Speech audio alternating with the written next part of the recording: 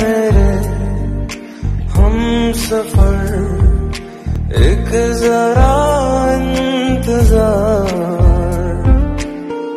सुन सदाए